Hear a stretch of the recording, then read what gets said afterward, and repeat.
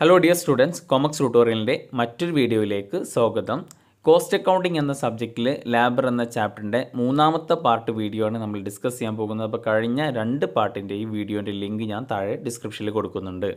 അപ്പോൾ ഈ വീഡിയോയിൽ നമ്മൾ ഡിസ്കസ് ചെയ്യാൻ പോകുന്നത് മെത്തേഡ്സ് ഓഫ് റെമറേഷൻ അല്ലെങ്കിൽ wage payment systems systems of wage payment അപ്പോൾ റെമുനറേഷന്റെ മെത്തേഡ് എന്ന് പറയുമ്പോൾ മെയിനായിട്ടും രണ്ട് മെത്തേഡാണുള്ളത് ഒന്ന് ടൈം റേറ്റ് സിസ്റ്റം മറ്റേത് പീസ് റേറ്റ് സിസ്റ്റം അപ്പോൾ എന്താണ് ടൈം റേറ്റ് സിസ്റ്റം എന്ന് പറഞ്ഞു കഴിഞ്ഞാൽ time wage system under this system wages are paid to workers on the basis of time they work എത്ര സമയം അവർ ജോലി ചെയ്തു എന്നതിന്റെ അടിസ്ഥാനത്തിൽ വേജ് കൊടുക്കുന്നതിനെയാണ് നമ്മൾ ടൈം റൈറ്റ് സിസ്റ്റം എന്ന് പറയുന്നത്. അപ്പോൾ time rate is fixed which may be hourly rate daily rate weekly rate or monthly rate അപ്പോൾ ടൈം റേറ്റ് എന്ന് പറയുമ്പോൾ അത് ഫിക്സ് ചെയ്തിട്ടുണ്ടാകും ഓരോ മണിക്കൂറിന് ഒരു മണിക്കൂറിന് എത്ര രൂപയാണ്? അല്ലെങ്കിൽ ഒരു ദിവസം എത്ര രൂപയാണ്? ഒരു ദിവസത്തേക്ക് എത്ര രൂപയാണ്? അല്ലെങ്കിൽ ഒരാഴ്ചത്തേക്ക് അല്ലെങ്കിൽ ഒരു മന്ത്ലി റേറ്റ് എത്രയാണ്? എന്നുള്ള രീതിയിൽ ഫിക്സ് ചെയ്തിട്ടുണ്ടാകും. ഫോർ എക്സാമ്പിൾ ഒരു മണിക്കൂർ ജോലി ചെയ്ത് കഴിഞ്ഞാൽ നൂറ് രൂപയാണ് എങ്കിൽ പത്ത് മണിക്കൂർ ജോലി ചെയ്ത് കഴിഞ്ഞാൽ എത്ര രൂപ കിട്ടും? ആയിരം രൂപ കിട്ടും. അങ്ങനെ ഓരോ മണിക്കൂറിനും ഓരോ എമൗണ്ട് ഇത്ര എമൗണ്ട് ആണെന്നുള്ളത് ഫിക്സ് ചെയ്തിട്ടുണ്ടാകും. അങ്ങനെ ടൈമിന്റെ അടിസ്ഥാനത്തിൽ വർക്കേഴ്സിന്റെ വേജ് ഫിക്സ് ചെയ്തിട്ട് വേജ് കൊടുക്കുന്നതിനെയാണ് ടൈം റൈറ്റ് സിസ്റ്റം എന്ന് പറയുന്നത്. അപ്പോൾ ടൈം റൈറ്റ് സിസ്റ്റത്തിൽ ഏണിങ്സ് എത്രയാണ് ഏൺ ചെയ്തത് എന്ന് കാൽക്കുലേറ്റ് ചെയ്യാനുള്ള ഫോർമുല എന്താണ്? ഹവേഴ്സ് വർക്ക്ഡ് എത്ര മണിക്കൂറാണോ ജോലി ചെയ്തത്? ഇന്റു ഒരു മണിക്കൂറിന് എത്ര രൂപയാണോ? ഇപ്പോൾ പത്ത് മണിക്കൂർ ജോലി ചെയ്തു. ഒരു മണിക്കൂറിന് നൂറ് രൂപയാണെന്നുണ്ടെങ്കിൽ ഏണിങ്സ് എത്രയാകും? ആയിരം രൂപ. ഓക്കെ? ക്ലിയർ അല്ലേ? അടുത്തതാണ് പീസ് വേജ് സിസ്റ്റം. അപ്പോൾ പീസ് വേജ് സിസ്റ്റം മെത്തേഡ് പ്രകാരം wages are paid on the basis of number of articles produced by the worker ഓരോ വർക്കേഴ്സും ഓരോ എംപ്ലോയീസും എത്ര ആർട്ടിക്കിൾസ് ആണ് എത്ര വസ്തുവാണ് അല്ലെങ്കിൽ എത്ര യൂണിറ്റ്സ് ആണ് പ്രൊഡ്യൂസ് ചെയ്തത് എന്നതിന്റെ ആ നമ്പറിന്റെ അടിസ്ഥാനത്തിൽ വേജ് കൊടുക്കുന്നതിനെയാണ് നമ്മൾ പീസ് വേജ് സിസ്റ്റം എന്ന് പറയുന്നത്.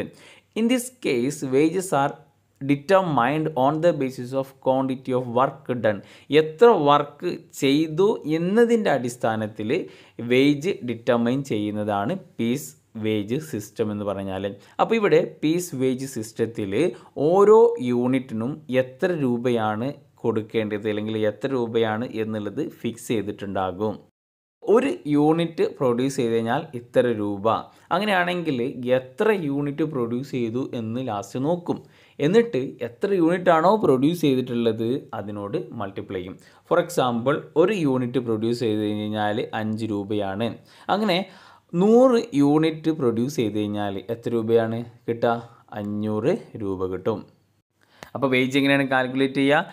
Number of unit produced number of unit എത്ര പ്രൊഡ്യൂസ് ചെയ്തത്? നൂറാണ് നമ്പർ ഓഫ് യൂണിറ്റ് പ്രൊഡ്യൂസ് ചെയ്തത്. ഒരു യൂണിറ്റ് പ്രൊഡ്യൂസ് ചെയ്ത് കഴിഞ്ഞാൽ അഞ്ച് രൂപയാണെന്നുണ്ടെങ്കിൽ total earnings fifty rupees okay next types of piece rate system piece റേറ്റിൽ തന്നെ ഡിഫറെന്റ് ടൈപ്സ് ഉണ്ട്. അതിൽ first one straight piece rate in this method payment is made on the basis of fixed amount per unit produced ഒരു unit produce ചെയ്ത് കഴിഞ്ഞാൽ ഇത്ര രൂപ ഇത്ര രൂപയാണ് എന്നുള്ളത് ഫിക്സ് ചെയ്തിട്ടുണ്ടാകും. അടി അതിന്റെ അടിസ്ഥാനത്തിൽ വേജ് പേയ്മെന്റ് ചെയ്യുന്നതിനെയാണ് വേജ് കൊടുക്കുന്നതിനെയാണ് സ്ട്രൈറ്റ് പീസ് റേറ്റ് എന്ന് പറയുന്നത്.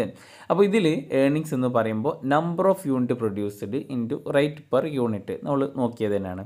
ഇനി രണ്ടാമത്തെ മെത്തേഡാണ് രണ്ടാമത്തെ ടൈപ്പാണ് piece rate with guaranteed weekly wages അപ്പോൾ under this system minimum time wage are guaranteed അപ്പോൾ ഒരു ആഴ്ച ജോലി ചെയ്ത് കഴിഞ്ഞാൽ എത്രയാണ് മിനിമം വേജ് കിട്ടുക എന്നുള്ളത് അയാൾക്കറിയാം. എന്നിട്ട് പീസ് റേറ്റ് സിസ്റ്റം പ്രകാരം എത്ര യൂണിറ്റ് പ്രൊഡ്യൂസ് ചെയ്തു അതിന്റെ അടിസ്ഥാനത്തിലും വേജ് കാൽക്കുലേറ്റ് ചെയ്യും. ഏതാണോ കൂടുതൽ അതെന്ത് ചെയ്യും? കിട്ടും. If piece wage is more than time wage time വേജിനേക്കാൾ എന്ന് വെച്ച് കഴിഞ്ഞാൽ ആ ഗ്യാരണ്ടി ചെയ്ത വേജിനേക്കാൾ കൂടുതൽ ആണ് പീസ് വേജ് എങ്കിൽ പീസ് റേറ്റ് സിസ്റ്റം പ്രകാരം കാൽക്കുലേറ്റ് ചെയ്ത വേജ് എങ്കിൽ വർക്കറിന് എന്ത് കിട്ടും? പീസ് വേജ് കിട്ടും. ഓക്കെ ഇനി അടുത്തതാണ് differential piece rate differential piece rate എന്ന് പറഞ്ഞു കഴിഞ്ഞാൽ in the system there are two or more piece rate രണ്ടോ അതിലധികമോ പീസ് റേറ്റ് ഉണ്ടാകും. Output below certain level is paid at lower piece rate അപ്പോൾ നമ്മൾ പറയുകയാണ് ആ ഒരു ഓർഗനൈസേഷനിൽ ഇത്രയാണ് ഇത്ര ഔട്ട്പുട്ട് പ്രൊഡ്യൂസ് ചെയ്യണം. ഒരു സ്റ്റാൻഡേർഡ് ഫിക്സ് ചെയ്തിട്ടുണ്ടാകും.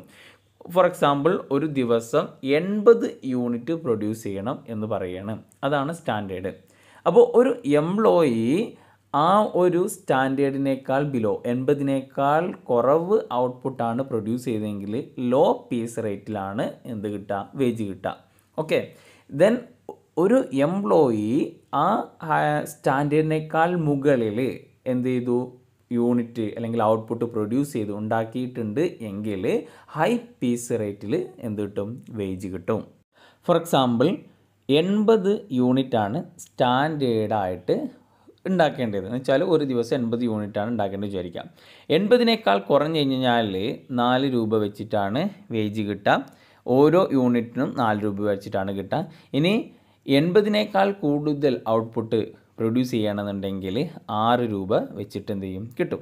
അപ്പോൾ ഇങ്ങനെ രണ്ട് ഒരു പീസ് റേറ്റ് ഫിക്സ് ചെയ്യും. ഇപ്പോൾ ഒരു എംപ്ലോയി എൺപതിനേക്കാൾ സ്റ്റാൻഡേർഡ് ഫിക്സ് ചെയ്തതിനേക്കാൾ കുറവാണ്. എഴുപത് യൂണിറ്റ് പ്രൊഡ്യൂസ് ചെയ്തിട്ടുള്ളൂ എന്ന് വിചാരിക്കുക. അങ്ങനെയാണെങ്കിൽ ലോ പീസ് റേറ്റ് സിസ്റ്റമാണ് കിട്ടുക. എന്ന് വെച്ചാൽ ഒരു യൂണിറ്റ് പ്രൊഡ്യൂസ് ചെയ്ത് കഴിഞ്ഞാൽ ലോ പീസ് റേറ്റ് എത്രയാണ്? നാലാണ്. അപ്പോൾ നാല് ഇന്റു എഴുപത് ഇരുന്നൂറ്റി എൺപത്.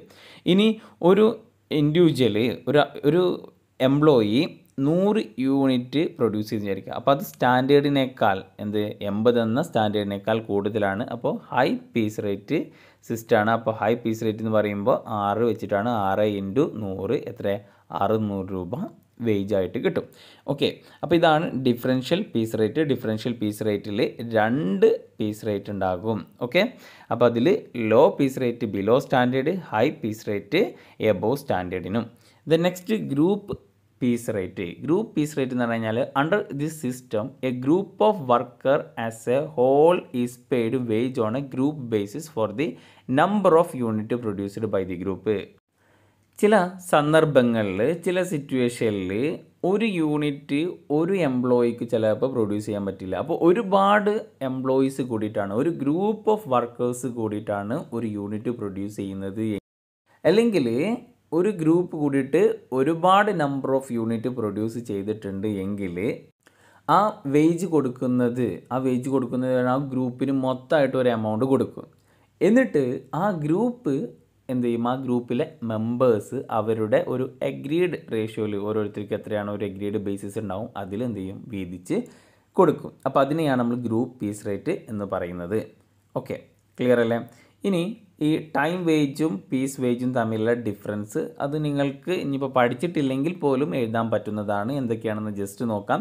Wage are paid on the basis of time work time work ചെയ്തതിന്റെ അടിസ്ഥാനത്തിലാണ് ഇവിടെ എത്ര ക്വാണ്ടിറ്റി വർക്ക് ചെയ്തു നമ്പർ ഓഫ് യൂണിറ്റ് പ്രൊഡ്യൂസ്ഡ് എന്നതിന്റെ അടിസ്ഥാനത്തിലാണ്. ടൈം വേജിൽ എഫിഷ്യൻസി ഇസ് നോട്ട് റിവാർഡ് എഫിഷ്യൻസിക്ക് എന്ത് ചെയ്യുന്നില്ല അവിടെ കൊടുക്കുന്നില്ല. ജോലി ചെയ്താലും ഇനി തട്ടിമുട്ടി ജോലി ചെയ്ത് കഴിഞ്ഞാലും എന്ത് കിട്ടും? കിട്ടേണ്ട വേജ് കിട്ടും. കാരണം ആ സമയം നീങ്ങിപ്പോയാൽ മതി. എന്നാൽ പീസ് വേജിൽ എഫിഷ്യൻസിക്ക് റിവാർഡ് ഉണ്ട്. എത്ര കൂടുതൽ വർക്ക് ചെയ്യുന്നുവോ എത്ര കൂടുതൽ നമ്പർ ഓഫ് യൂണിറ്റ് പ്രൊഡ്യൂസ് ചെയ്യുന്നുവോ അതിനനുസരിച്ചിട്ട് വേജ് കൂടും. Then time വേജിൽ required more supervision more supervision ആവശ്യമാണ്. കാരണം ചിലപ്പോൾ വെറുതെ ടൈം കളയാൻ വേണ്ടിയിട്ട് അല്ലേ ടൈം സ്പെൻഡ് ചെയ്ത് കഴിഞ്ഞാൽ അവർക്ക് എന്ത് ചെയ്യും? വേജ് കിട്ടും. അപ്പോൾ ടൈം എങ്ങനെയെങ്കിലും പോകാൻ വേണ്ടിയിട്ട് ചില ആൾക്കാർ തരികിടായിട്ട് വെറുതെ ഇരിക്കുന്നുണ്ടാകും. അപ്പോൾ അത് ഒഴിവാക്കാൻ വേണ്ടിയിട്ട് മോർ സൂപ്പർവിഷൻ ആവശ്യമാണ്. പീസ് വേജിലാണെന്നുണ്ടെങ്കിൽ നമ്പർ ഓഫ് യൂണിറ്റ് പ്രൊഡ്യൂസ് ചെയ്യുന്നതിനനുസരിച്ചാണ് വേജ് അപ്പം എത്രയും കൂടുതൽ യൂണിറ്റ് പ്രൊഡ്യൂസ് ചെയ്യുന്നു അത്രയും എന്ത് കിട്ടും? വേജ് കിട്ടും. അപ്പോൾ വെറുതെ ആൾക്കാർ ഇരിക്കുന്നത് കുറയും. അതുകൊണ്ട് സൂപ്പർവിഷൻ കുറച്ച് മതി. മിനിമം വേജസ് ഗ്യാരണ്ടീഡ് ടൈം വേജിൽ ഒരു മിനിമം വേജ് എന്തായാലും ഗ്യാരണ്ടിയാണ് പക്ഷേ പീസ് വേജിൽ അങ്ങനെ മിനിമം ഗ്യാരണ്ടീഡ് വേജ് അല്ല. എത്രയാണോ എത്ര നമ്പർ ഓഫ് യൂണിറ്റ് ആണോ പ്രൊഡ്യൂസ് ചെയ്യുന്നത് അതിനനുസരിച്ചിട്ടാണ് വേജ് കിട്ടുക. ഓക്കെ അടുത്തത് നമുക്ക് പഠിക്കാനുള്ളത് പ്രീമിയം ബോണസ് പ്ലാൻ അല്ലെങ്കിൽ ഇൻസെന്റീവ് സ്കീം. ഇത് ഇമ്പോർട്ടന്റ് ആണ്. അപ്പോൾ ടൈം റേറ്റും പീസ് റേറ്റും തമ്മിലുള്ള ഡിഫറൻസ് ഒക്കെ പഠിച്ചു. ഇനി ഇൻസെന്റീവ് സ്കീമാണ് പഠിക്കാനുള്ളത്. ബോണസ് പ്ലാൻ എന്ന് പറഞ്ഞു കഴിഞ്ഞാൽ bonus plan attempt to overcome the limitation of both time wage and piece wage system അപ്പോൾ ടൈം ആൻഡ് പീസ് വേജ് സിസ്റ്റത്തിന്റെ ലിമിറ്റേഷൻസിന് ഓവർകം ചെയ്യാൻ വേണ്ടിയിട്ടാണ് ഈ ബോണസ് പ്ലാൻ കൊണ്ടുവന്നിട്ടുള്ളത്.